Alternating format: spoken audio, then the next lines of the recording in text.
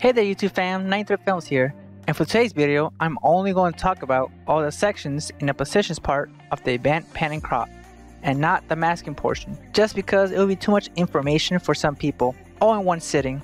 So what I will do is do a separate video on the masking later on. Let's get started, shall we? Okay guys, before we start, make sure you have your sync cursor on, and I will explain why in a little bit. So I'm going to break this video into four sections and I will leave the time where I'm talking about a certain section in the description down below.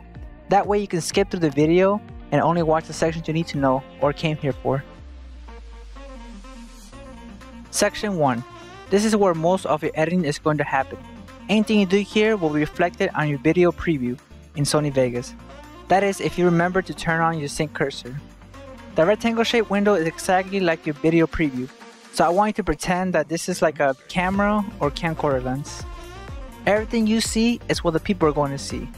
Moving on, let's scroll all the way out. You could do this with your mouse scroller button or use a magnifying glass, which I'll show you later on. Now I'm going to drag the camera lens corner all the way out to show you how far you can make the video or picture look like.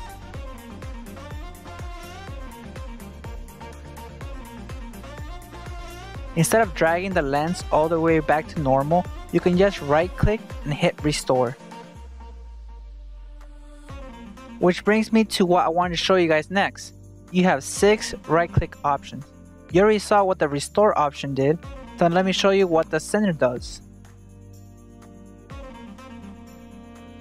Basically, it will always put the image inside the middle of the lens window. Flip horizontal will just mirror the image, left or right. Flip vertically will mirror up and down. The match output aspect will depend on your setting you currently have in your project property setting. Mine is currently at 1920 by 1080. So for example, take a look at this random picture I took on my phone, Berkeley. Notice how much empty space this picture will have in my video preview. If I click the match output aspect, it will automatically zoom in to match the current settings I have. But if I click on the match source aspect, it will go by the video or picture default aspect. And the last two things I want to show you guys for section 1 is you can spin the lens 360 degrees and also do you see the little dots in the workspace background? Think of that as a ruler when you're editing things out. And I'll explain more in section 3. Section 2. Okay, so let's click on the down arrow tab in the preset bar. And notice in here are some more aspect ratio for you guys.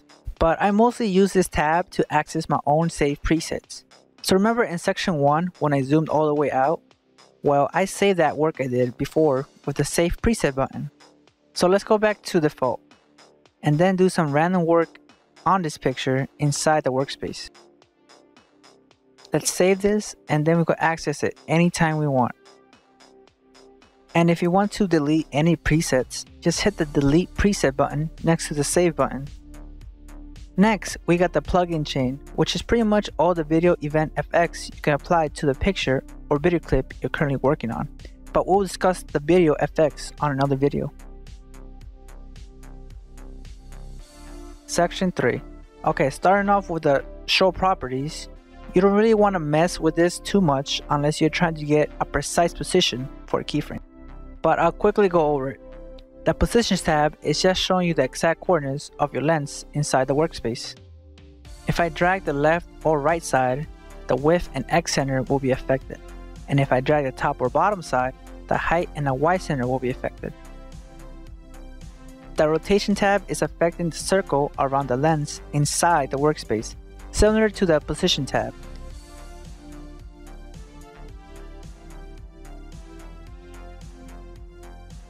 The keyframe interpolation I'll talk about once I get to section 4. The source tab is all about the video or picture you're currently working on. By changing the maintain aspect to no, the lens won't try to keep the picture or video the same aspect as your current settings that you have for your project. Having stretch to fill frame off will leave your picture or video clip at the same aspect from your settings, but you can move the lens around still. And finally, the workspace tab is all about the camera angles around the lens. Except grid spacing is the mini dots you see around the workspace. Okay, so moving on next, the normal edit tool is a mouse that lets you maneuver around the pan and crop and edit. The zoom edit tool lets you zoom in with the left click and zoom out with the right click. Enable snapping. Remember these little dots in the background? Well, with enable snapping, your edits will stop in each row for left and right and each column for top to bottom, almost like a ruler. You can add more dots in the grid spacing of your workspace tab. And if you left click your picture or video you're working on, then you can control the image with your arrow keys of your keyboard.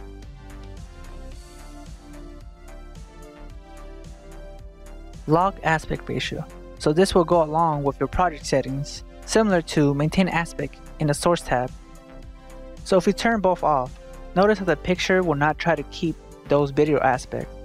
And if we enable lock aspect ratio, it will go back to the video project settings.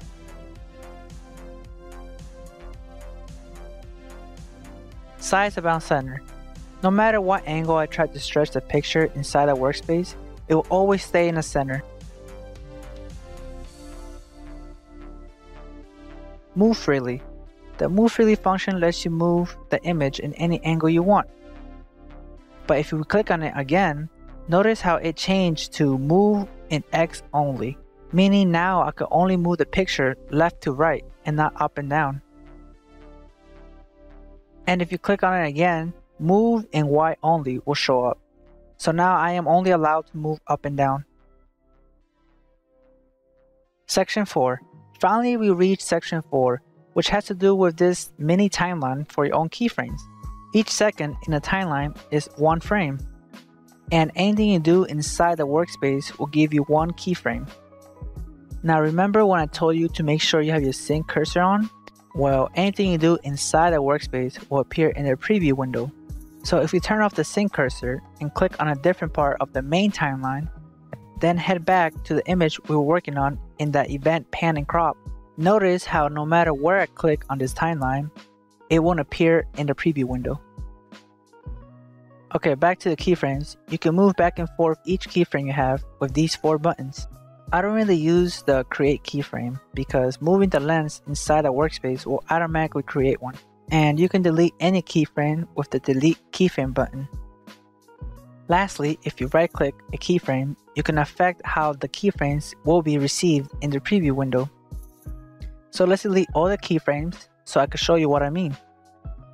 Let's now create a couple keyframes and have them do the same thing over and over.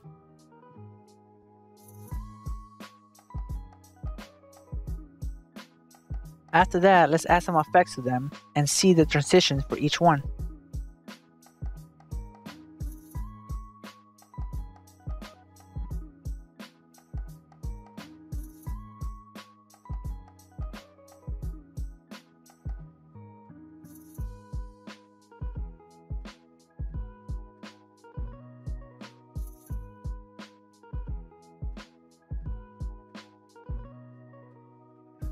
Now taking everything that we learned, I'll show you some examples on what you could do.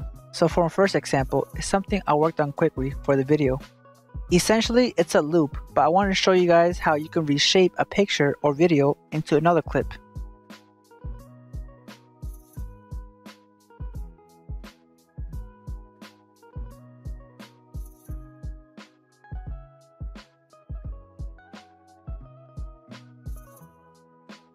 Almost similar to this, how I placed the same video behind the film reel, but for this I needed a solid background and a transparent picture.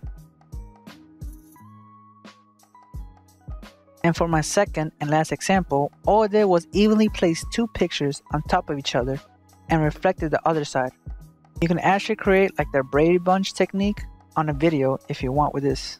Well, that's it for this tutorial video. If it helped you in any way, Please consider hitting the like button and subscribe for more future videos. This is 93 Filmz here, signing out.